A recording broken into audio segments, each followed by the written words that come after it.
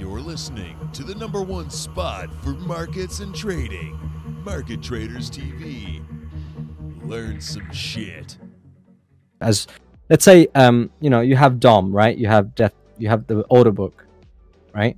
And let's say you want to do 50 contracts long here, and there's only you know 20 contracts here, 10 contracts here, 10 here, right? To get this 50 filled, it's gonna move. all- It's gonna go all the way up, right?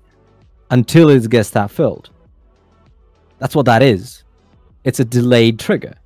So as people push it, get their triggers, and as soon as, as soon as they get filled, they get rid of their longs that they had from lower levels immediately within less than a second. And then what that creates is a little flicker that goes up and down instantly. And you get instant 20 points.